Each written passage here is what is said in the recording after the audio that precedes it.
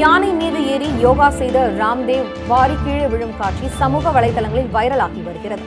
பதஞ்சலி நிறுவனம் என்ற பெயரில் பல்வேறு பொருட்களை தயார் செய்து விற்பனை செய்து வருபவர் யோகா ஆசிரியரான பாபா ராம்தேவ். இவர் யானை மீது அமர்ந்து யோகாசனம் செய்ய முடிவெடுத்தார்.